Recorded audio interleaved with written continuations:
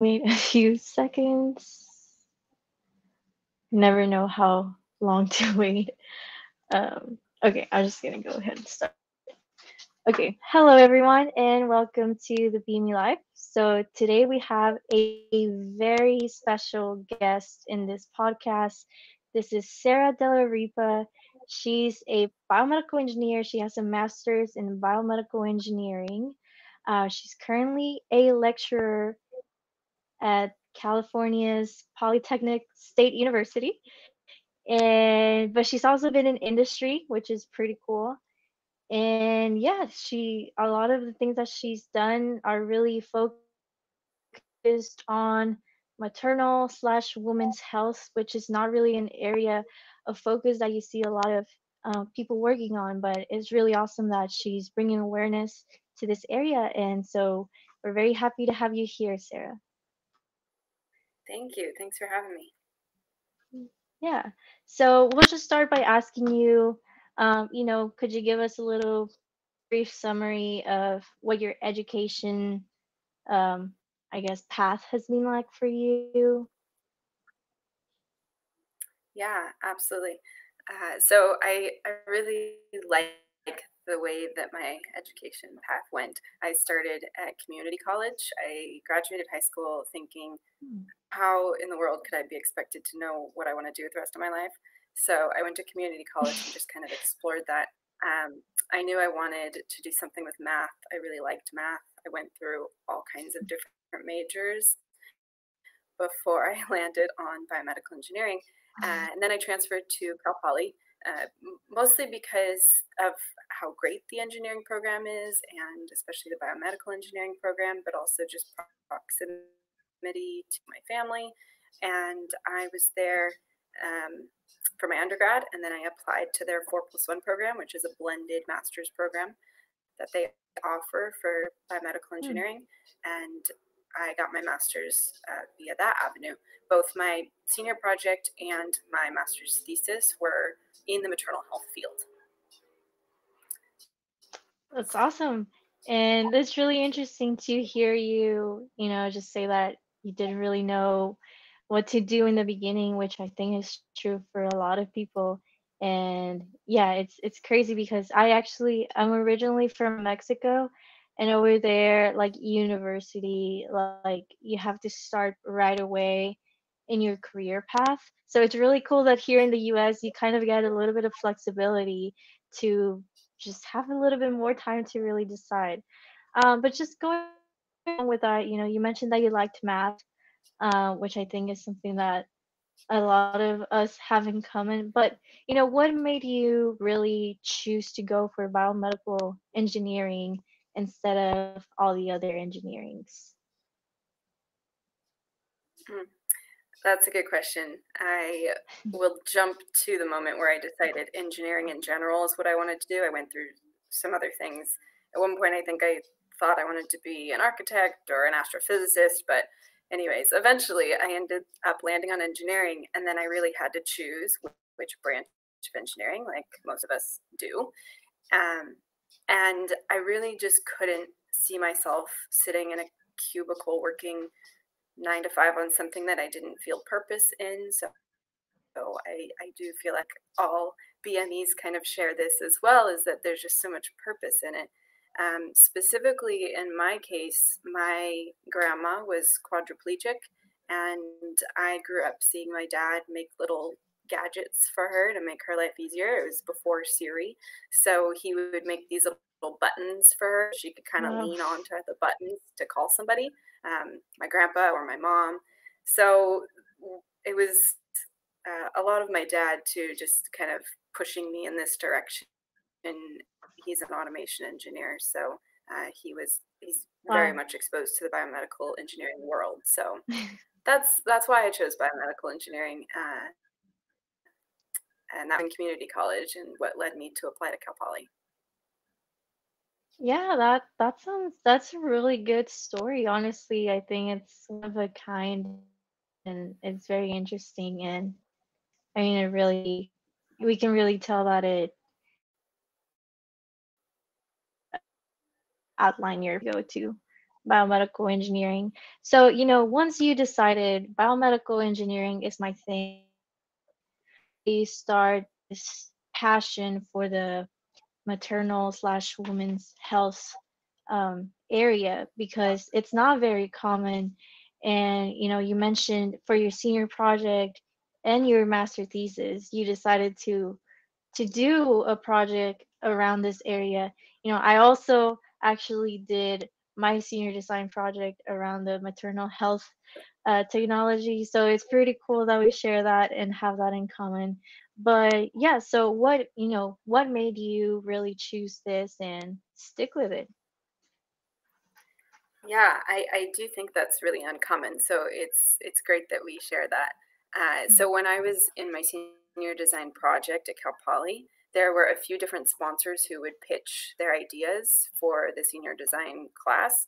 And one of those projects happened to be out of luck, really. Um, a project that was sponsored by a mm. startup company called InPress Technologies, now called Alydia Health. So they pitched a project and basically mm. wanted a student team to work with them. They had an office in San Luis Obispo at the time. That's where Cal Poly is located. Uh, and so I chose the project. They kind of chose me back, and and that's how it started. So um, mm. through that, I became an intern for the company. Um, it was a really small team. We all just got along really well, so it kind of worked out really perfectly. And I, I was just uh, answering the second part of your question. I was completely blown away by how big of a gap this maternal health field is, and how high the rates are for maternal death during childbirth, it, I just I couldn't believe it. So that's really what got me passionate about the field and wanting to stick with it and knowing that we need engineers, we need everyone in this space really. So yeah. No, yeah, that's that's a great point and I think it cut out a little bit, but I think the main uh the most important things really did stick, so that's good. Uh, and that's very interesting because yeah, for a senior design project, we also had that opportunity to maybe reach out to uh, potential sponsors that we can work with, but I don't know, we really didn't didn't end up finding anyone. But it's really cool that you were able to find that and not only make it your project, but also you know intern for them. And so is Alydia Health um, I guess like the company that you eventually worked for when you graduated or how was your your life like after graduating from your bachelor's? Or did you automatically graduate with a master's? Like how did that work? Yeah so and let me know if this is cutting out too bad i can try to switch rooms here but i hope that you can hear me okay. Um, so Alydia Health, they yeah, you... am I good? Alydia Health is a company, a startup company that came out of Cal Poly. The concept, at least, came out of Cal Poly, and um, they have a device that is meant to treat postpartum hemorrhage. That's excessive bleeding after childbirth. It's the leading direct cause of maternal death across the globe. So it's a major topic. And um, when I got on board with them, they uh, working with them on my senior design project and then eventually interning with them, uh, it was really working with them that motivated me to apply for my master's. I probably wouldn't have gotten my master's, um, at least not in that moment, if it wasn't for the work experience with them. I was pretty done with school. Mm-hmm. Like, I was in school for a long time and it was exhausting. But finding a, a sponsor and a project that I really cared about was so crucial to getting through my master's degree and and didn't feel like school. I just I loved it and it was a really great project for me. Yeah, no, that that's something that, you know, they were able to sponsor you and, you know, push you to that direction and really encourage you to get your master's and you know, something that my dad actually told me once is that you know when i was trying to think of what major to do in college he said like just do something. You'll be good at it you know you'll be passionate about it. And i think you know it's definitely true like that. Once you start going into the industry you kind of start feeling like you get absorbed but you actually start mirroring their passions and there's like research and things like that. So cool that you know you got to be in this field and then I don't know, it's just it's just really awesome. Um, so you know those are really cool things and great industry experience. Uh, were you? I think I saw on your LinkedIn that your official was like engineering consultant, which you want to talk a little bit more about, like what you kind of did for Alydia Health and you know your overall duties as an engineer there. Sure. Yeah.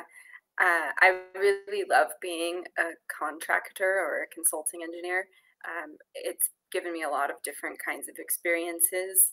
Um, there's a whole nother part of that that I won't get into on this podcast, but as far as balancing life while being a consultant and and and all of the the things that come with that but i really love that i've been able to set this up for myself in my career. So being a contractor for me has meant that i don't my work is not consistent. Uh, it's kind of all over the map. Sometimes i've been able to travel for the company and that takes up you know a ton of time and then um, other times it'll be some research or phone calls and meetings every so often, every couple weeks. So it's just kind of all over the map with the consulting or contracting. So when I was working with Alydia as an engineer, a lot of my job was to um, use solid modeling software and uh, get things prototyped, 3D printed. I'd often outsource that and, and have someone else take my STL files and and prototypes that we can benchtop test them. So that was a lot of my role, um, even from the early parts of my working with them. Um, uh, and then I was, you know, a little bit more involved with the testing, which was really fun, and getting to travel. Um, so that kind of encompasses, I think, a lot of what I was doing with Alydia. Yeah, no, that's that's a great explanation and it sounds definitely sounds really fun and a great, you know, experience to have as a recent graduate and early professional. So, and you know, you had this experience in industry. At what point did you decide because of for the viewers that may not know this, you started a curriculum at your university for teachers internal health right? So what really you know inspired you to do that? And yeah what were the deciding factors for you? Yeah great question. So go i have to go back to my master's thesis for this. It was again sponsored by Alydia Health and it was uh, working on one of their devices. And and just for context here their device is meant to again treat postpartum hemorrhage and it does so by applying vacuum to the uterus to stop the bleeding. Um, and that was my master's thesis. And as I was researching postpartum hemorrhage, I got, I got so into the research. I just loved the research aspect of postpartum hemorrhage and um, kind of how the physiology of the internal reproductive organs um, are, will either work great or sometimes things go wrong. And what can we as engineers do when things mm. go wrong during childbirth um, or just with internal reproductive organs in general? So after I defended my thesis, my thesis advisor, uh, Dr. David Clague at Cal Poly, um, pulled me aside and suggested that I design a curriculum for a class that kind of captures this. So really the, the impetus for the class was his idea. And I never would have dreamed that that's something that I could have done as a recent graduate. And so having him kind of pushed me in that direction as he had done, you know, throughout my thesis actually was really important. Uh, so I spent a summer designing a curriculum and, and figuring out really what I wanted to include. I, I mostly facilitate students choosing a topic that they feel passionately about and can explore for 10 mm. weeks of the quarter. Um, so that's kind of where we are with this class. We look into prevention, detection, monitoring, and treatment, where the gaps are in those major biomedical engineering topics, but also looking at the bigger picture. There's often gaps in education and policy um, and things like that. So we really do try to, to before we identify ourselves as biomedical engineers, identifying ourselves as problem solvers because so many of these healthcare issues are multifaceted and so that's that's kind of the basics of the class. I've taught this class for uh, five quarters now. We do the quarter system at cal poly and it's it's evolved a bit and and i'm so excited that students are actually taking it beyond just health around childbirth there's a lot of uh, topics that affect people who are assigned female at birth and women things like endometriosis that affects one in 10 women, and we don't have a whole lot of research or medical solutions. So I'm excited that students are really broadening the scope of this class.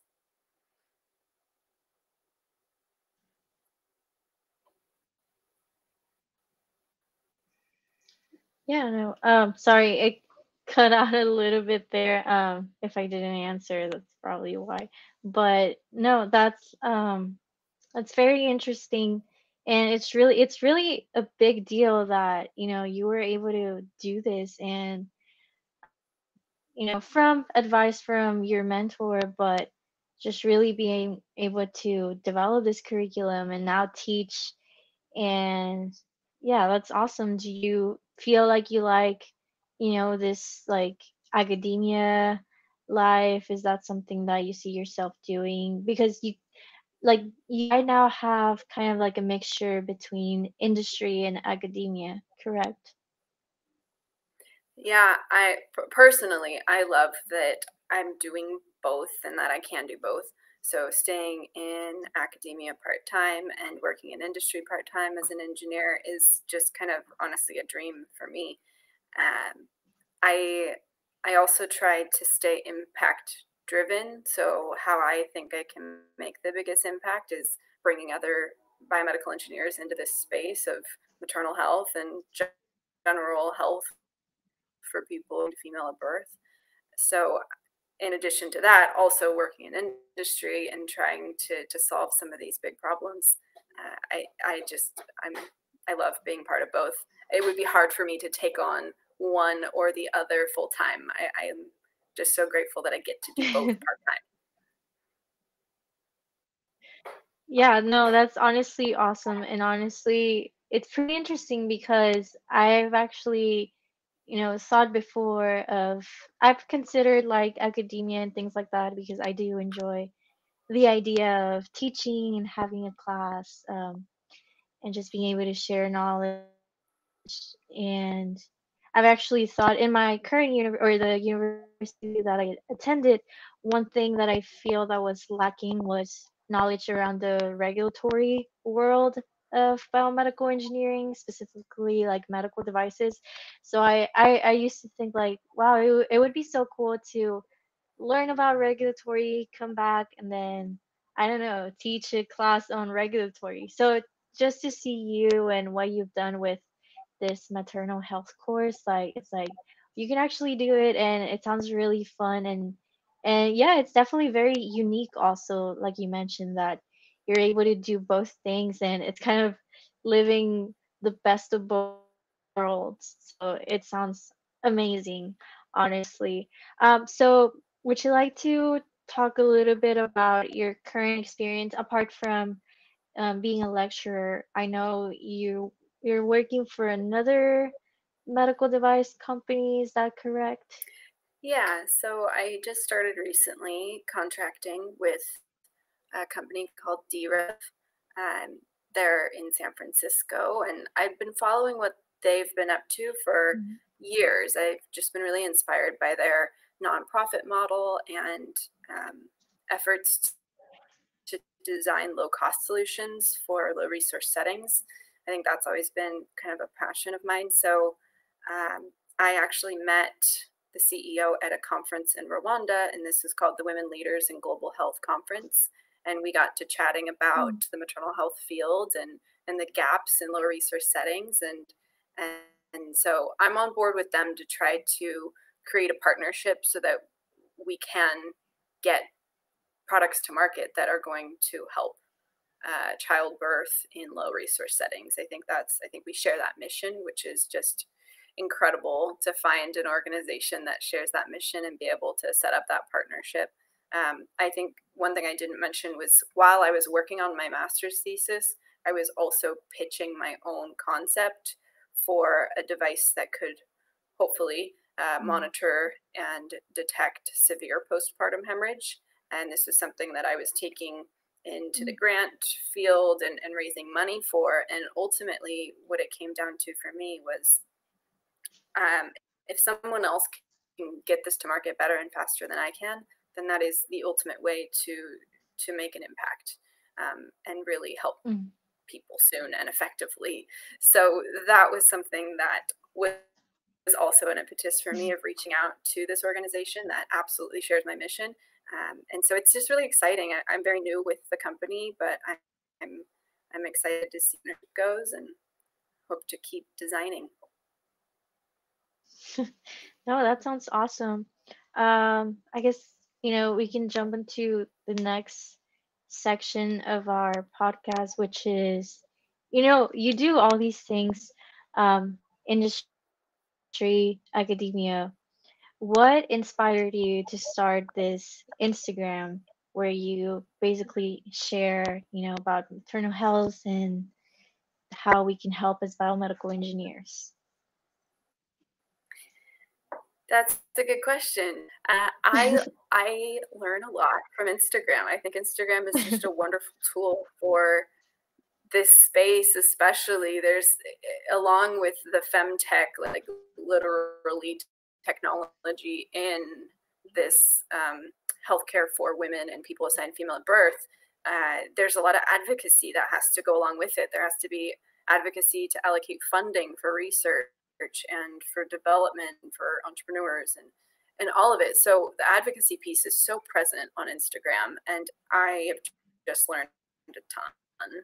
Um, so I kind of saw it as a way where students can share their research and other people can find the research and see it in a very accessible way because it seems like everyone's on Instagram for better for worse. So um, yeah, Instagram is a huge part of that because You watch live birth on Instagram now. That hasn't always been the case. And, and so you can really become familiar with the clinical side. As biomedical engineers, that's kind of our role is to bridge clinical with engineering. And um, a lot of us don't get to see procedures, not that birth is a procedure, but being able mm-hmm. to see what a birth is, is, is, I think, is really important for what I do.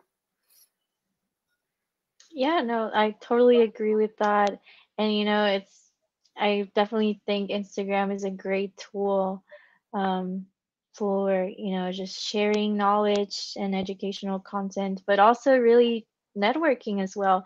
And you know how I I remember the first time I came across your account, it was really because I saw I think it was a post where you put like all the companies dedicated to making solutions for maternal health. And I just thought this is amazing. Like I've never seen all of them just like in one slide, you know. Um, so it was really cool to see. And yeah. when I just saw what you did overall, it was just like this person is amazing. We need to have her on a podcast. So yeah, it's awesome. And thank you for being here.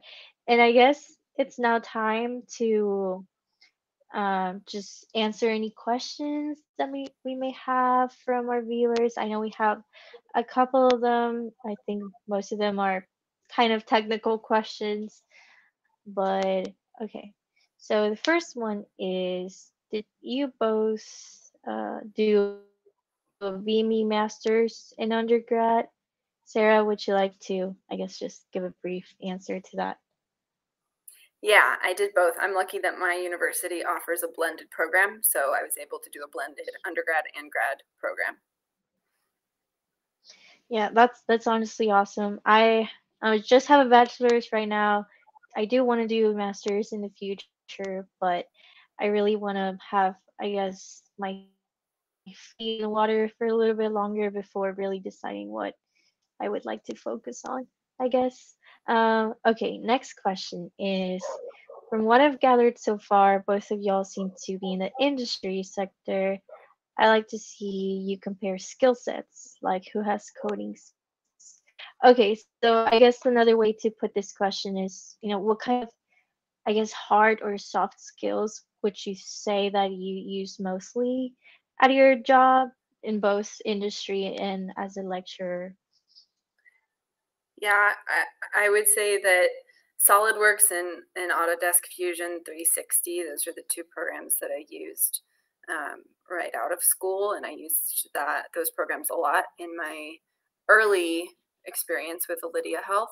So that absolutely got my foot in the door. And then once I was already in the field, it seems like less and less I use those hard skills. Um, it's uh, a, a, lot more research on my end right now and kind of more soft skills of organizing like protocols, which, you know, are tools in themselves. So, yeah, I would say mm. as time goes on, I use less of those hard skills. Yeah, no, and that's very interesting because a lot of people here are really curious to know like what skills should I have and exercises a BME. And it's always very hard to answer because it's really up to what you're doing. And specifically when you're working for startups, you know, startups are always evolving and they have less employees than a big company would. So in a startup, you really have to be flexible to do different kinds of jobs evolve depending on age of that startup. So yeah, no, it's it's really interesting. I've actually never really used any hard skills um, as an intern or as a part-time engineer right now. Um, it's always really been mostly soft skills like protocol writing or testing or really just thinking um, yeah, it's really hard to put into words. But yeah, thank you for your question and your answer, Sara. It was a great answer. Uh, so Daryl also asked, Sara, how do you manage your time? A brilliant question. Um, I it, honestly, it, it fluctuates. Sometimes I'm really happy with the way that I'm managing my time, and sometimes I'm not. So, I mean, really, the thing that's helped me the most lately with it, I think it's extra hard to manage my time because I work from home even before COVID. So, honestly, like a lot of cafe hopping. So, I'm going to go to this cafe and work on this job. And then I'm going to go to this cafe and work on my other jobs to at least have like a really hard transition is is good for me but with, with covid uh, in place of that i have this notebook that I absolutely love. It's a habit tracking notebook, but it tools to also um, kind of prioritize to-do lists and things like that. And sometimes I literally have to write out an hour by hour schedule for myself in the day to really stay on top of yeah. what I need to do. So that's honestly, yeah, that's how I manage my time now. oh, that's great. Um, and that's really good uh, advice of having you know, like I've, I guess I've always been very more like, I don't know, like I never keep up with notebooks. Like I always, at the beginning of every semester or year, I always get a new notebook that I feel like it's going to uh, just encourage me to write on it but it's always i always just lose track of notebooks like after a week like i never keep up with them like it's so bad but yeah. but no that's well, good I'll that you're able to that,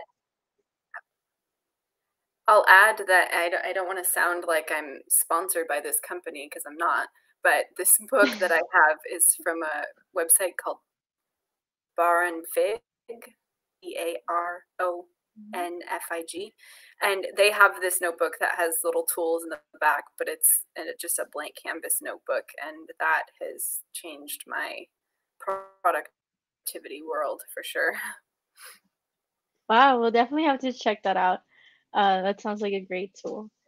Um, okay, so do you, Adrian, want to display the next question? Which, okay, we just have a comment from Andrew that he's saying that he's trying to Cal Poly. So that's awesome. Awesome. So the next question is Uh, what's it like being a contractor? Do companies reach out to you? Do you reach out to them? What do you do in between contracts? That's a great question. Um, so, being a contractor is really interesting. I could probably talk at length about the benefits and the risks of it. There are absolutely both. Mm. Um, I the two contracts that I've had, one of them kind of came about organically again, kind of through my school projects, and the other one was serendipitous. I, I met the CEO Mhm. and she had known about my experience and I had been really fascinated with them for years. So it just really worked out. Um, I would say that if I had time, if I wasn't teaching, maybe I would reach out to companies that I was interested in and I would uh, advocate for people who are interested in certain companies to do the same. Um, showing your passion goes such a long way. So if you can just, I mean, and it does have to be something you're passionate about. So if the, this company is working on something that you really care about, you can absolutely reach out to them. You don't have to go and look and see if there's a job opening or try to send in your resumes and apply through formal means. You can just work your way through talking to people and really showing how much you care. Um, and and it, it, might take a lot of conversations, but uh, if they want and need somebody, uh, then you can work that out and you can work out a contract. Yeah, no, that's a great answer, and thank you for sharing that with us. Um, okay, so this is kind of a hard uh, question to answer. How can I get into a postgraduate program BME as a foreigner? Uh, I'm not sure if I can answer that. Which you know, yeah, I'm sorry. We'll I have wish I to. could answer that, and I just don't know. You know, what I would suggest though is similarly, if you are passionate about something and want to reach out to a company, reach out to um, biomedical engineering departments at universities and and see what they suggest. Yeah, I think that's definitely a good advice, and we do get a lot of people um, that, or a lot of reviewers are international, and they're always asking like, how can I work or study in the U.S. And it's always such a hard question to answer, but yeah, we're definitely getting things ready to answer that question. But thank you for that advice. And then the last question for today is: Is BME a good major graduating soon, but I'm not sure what kind of place would hire BME or what I would like to do. Um, what's what's your opinion, Sara? Is, has been has BME been good to you? Yeah, um, BME has been great to me. I remember getting into major though, and people saying, and I believed this for a long time. Actually, people would say, you should have just gone into ME because you can always work for a biomedical device company as an ME, but you're just more versatile and biomedical engineering companies don't know what BMEDs are, so they probably won't hire you. And eh, you know, like I'm sure we've all heard the same things. Um, my personal experience is that I I don't agree with that. I I think biomedical engineering is relatively new but more and more companies are really starting to understand what biomedical engineering is. Um, and I think that what helped me is I found something that I cared about while I was in school and focusing mm-hmm. all of my projects on this topic and on this field, I think really helped me after I graduated. And so maybe that would just be my advice is like get involved in clubs and see what field within biomedical engineering really stands out to you because that'll kind of help you go down that path and as a biomedical engineer i'm my life might evolve and i might not always be an engineer i think the more and more i understand about healthcare the more i'm interested in public health and global health and we have you know masters of health degrees and phs uh, and that's always an option as well that I think we don't always think about when we think of healthcare and biomedical engineering merging. Yeah, no, that's a great answer. And, you know, it's funny that this question was brought up because today I actually uh, came across this podcast that basically said, don't major in biomedical engineering. And I, sh- I thought of sharing it just like on Instagram and I was like, should I share it? Should I not? I don't want to discourage anyone. But I think it's good to be aware of this opinion that we know a lot of people, not a lot of people, but some people actually have this opinion that BME is not a good major. And it can be very discouraging to a lot of people, you know, especially if you're a young student trying to decide what major to do. And yeah, I really just wanted to put it out there to for people to be aware that there are people that don't really believe in the major, but to be honest, most of these people don't even know anything about biomedical engineering, so I don't even know if it's valid. But yeah, no, I think I think it's great to like, you know, every time I talk to someone with a BME degree, like they always love what they do. And I think it's just great to show people that it is a great major. And like if you find, yeah, like something that a focus that you're truly passionate about, it's even better. And the thing is that, yeah, like you said, you, you don't really have to stick to the engineering. You know, there are so many other things that you could also do. But if you do decide to just be more of an engineer, then that's also a thing. Like there's just so much you can do with it. But yeah, so short answer, BME is good. But I mean, obviously, it also depends on everyone's individual interests. And I guess just one very, very last question is I don't know much about BME, but do you prefer dogs or cats? What's your answer, Sara? I have to say, I am a cat person. I'm actually actually cat sitting as we speak, and I'm totally expecting her to come Oh. walking through the door right now, but she's MIA at the moment. Oh, that's so cute. What's what's their name or their name? I'm not sure. Her name is Lupin. Oh, that's so cute. I actually, you know, I'm also a cat person. Um, but it's interesting, and this is so interesting that this question actually came up because I was thinking about this today. Because when I get asked this question, do you like dogs or cats better? I've always answered cats, even though I do like dogs too.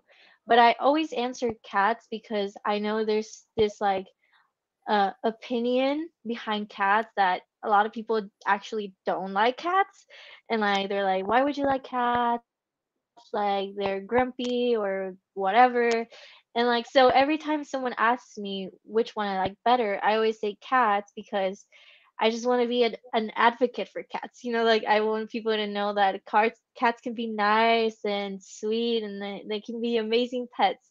So today that i came across this BME uh, opinion of not of it not being a good major, I thought, you know, I feel like it's almost like how I answer that cats are good because like kind of like the same thing. Like I I'm just trying to advocate for this major and tell people that it is good. Don't listen to people that don't like cats.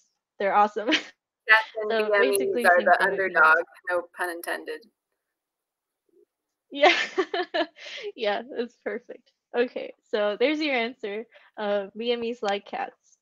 So, okay, so I think, you know, we're coming to the end of this podcast and we've covered everything uh, that we wanted to cover. So, Sara, before we say bye to our viewers, is there anything that um, you would like to share? Any final advice or maybe maybe something you would like to bring awareness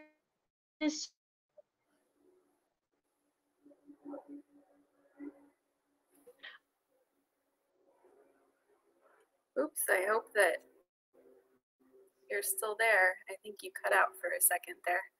Um, I heard the first part of your question. Sorry. If I have any um, last notes or, or advice, Yeah, and I would just say like that I still cutting out. So I'll answer what I heard. Uh, so I would say that um, biomedical engineering, like Mary was saying, is just a really wonderful major because before we're engineers, we're problem solvers, and that's just going to help us no matter what we do in life. I I know that it's helped me in all kinds of strange things I've done. I'm uh, chair of an events committee, and it, being a biomedical engineer, oddly enough, has has helped me with that. So, focusing my career around problem solving and and really problem solving for the things that I care about is totally all it's about. So, um, I would say that that's what I've got. Uh, I mean, there are specific topics in this women's health field or uh, healthcare for people assigned female at birth, and uh, I do think that this field is totally up and coming, and it is something that BMEDS can get into and involved with, and and a field that we need engineers for as problem solvers. So that's what I have to say. Um, I'm sure I wish we could, you know, have a, more time because I could talk about this for hours.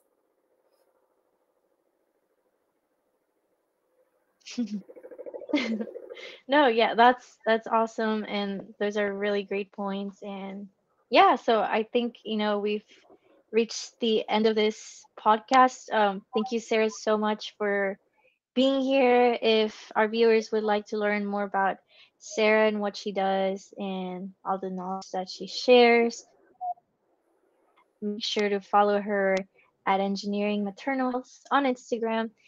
And yeah, so I think this is where we say bye to our viewers. And thank you, Sara, for being here. Thanks so much, Mary.